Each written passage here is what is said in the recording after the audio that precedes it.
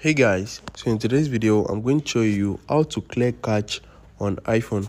So if you are facing some issues on any app on your iphone and you want to clear the cache let me show you how to do that in today's video. So the first thing you need to do is open up your settings and you need to scroll down to general. Once you click on general click on iphone storage and you need to wait for this to load. Once it has loaded successfully look for the app that you want to clear the cache. So i'm going to be making use of CapCut as an example.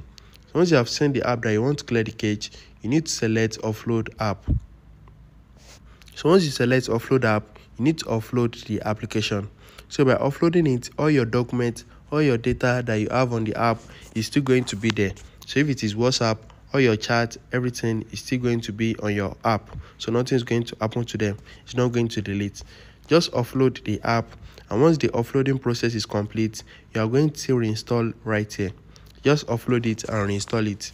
Once you do that, the clear the cache in the app is going to clear and all the bugs everything is going to clear out of the app so it's going to be like you have download new version of the app and all your documents that you have on the app is still there so if you have any question about this drop them in the comments down below and don't forget to like share and subscribe to my channel thanks for watching guys